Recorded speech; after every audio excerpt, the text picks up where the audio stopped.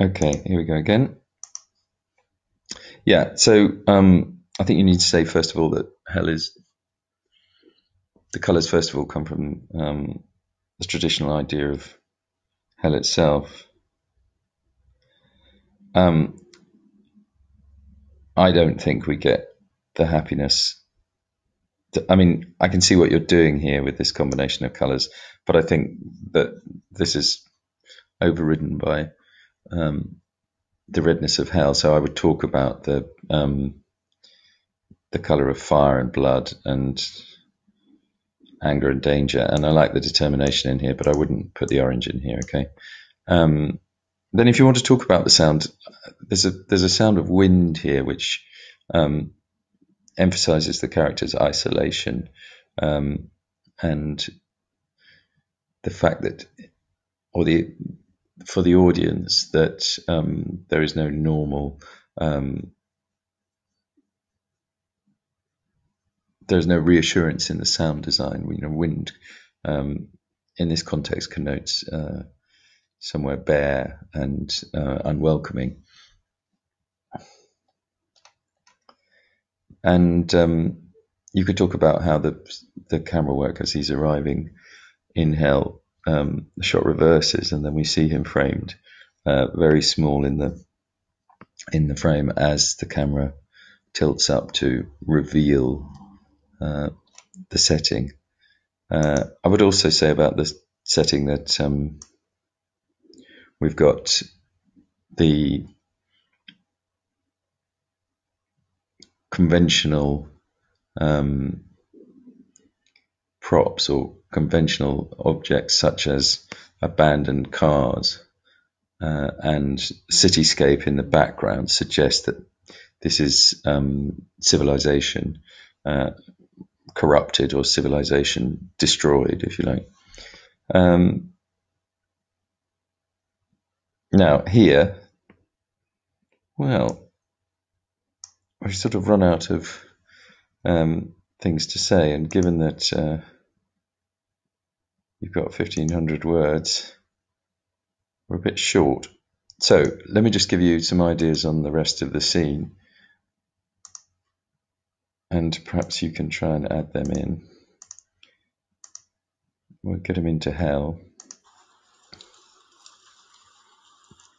So you see the camera's pulling back here, and this is what I was talking about with the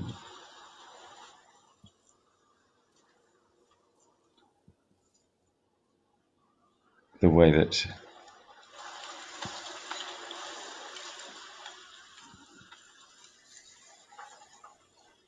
there's a lot of zooming it zooms in and zooms out.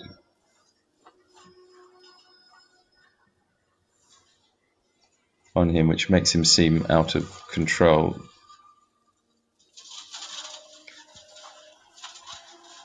So here the camera rotates around him pulls back and then tilts up. This is the scene I was describing uh, you could say uh, special effects are very important here. The palm tree, tree on fire, uh, adding to adding to the idea of um, destruction. Now, here, as Constantine walks towards the camera, the camera drops to reveal tormented souls being tortured by demons. This is followed quickly by a cut to the inside of a demon's skull and a close up on sinister face of the demon. We hear the diegetic sound of the demon's teeth gnashing, G N A S H, uh, whilst a plaintive piece of music plays.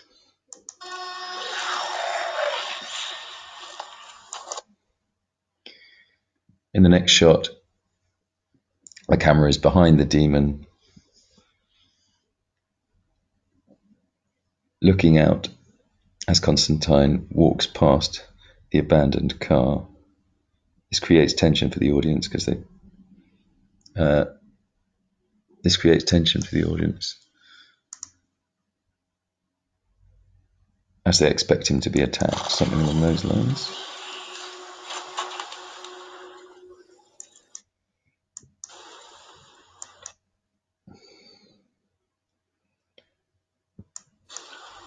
The character of Isabel is revealed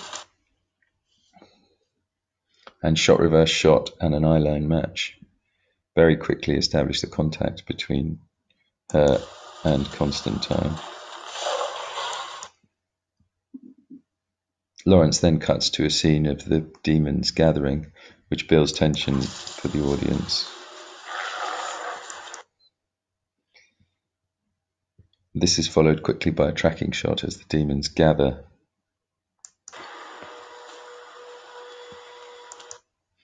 Close ups are used of Isabel's face and her forearm as she takes the hospital identification tag from her wrist and lets it fly into the smoke and wind. So here you could say, I mean, the, extreme close-up of the um, hospital tag for the audience emphasizes its importance. What Lawrence is doing is drawing the audience's uh, attention to this tag. And here's the change in the sound. As soon as it um, is released, we get the beginning of the chase sequence. And this is where the pace of the editing speeds up. And the music here has a much more rhythmic um, tempo, which uh, imitates, if you like, the heart beating faster. Now this is a God's eye shot, okay, because it's much much higher, and um, this part of the scene culminates in a God's eye shot as Constantine stands on an abandoned car with the demons gathering around him.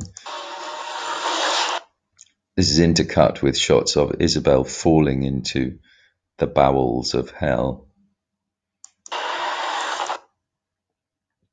There is there are two quick shots here. You see that one.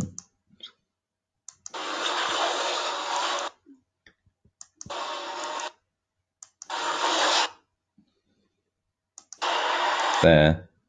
So there's a close up as Constantine catches the ID tag in his hand, which cuts quickly to a shot of his right hand pressed against his chest. Then a slow motion shot of the demons gathered around him. The scene cuts back to Angela outside the door, and her hair begins to move again, suggesting that real time has returned.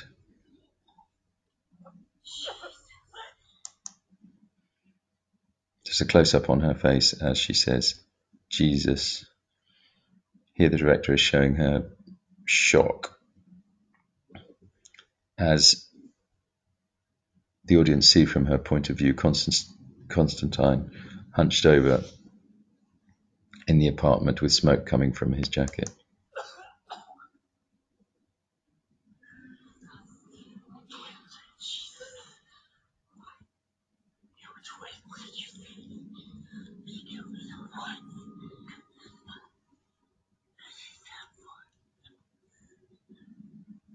He hands her the hospital tag, and there is an extreme close up showing the name of Isabel Dodson, her twin sister.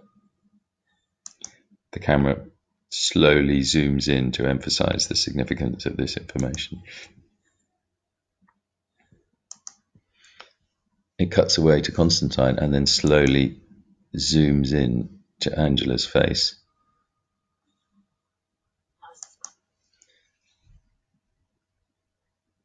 To draw the audience's attention to her stunned reaction.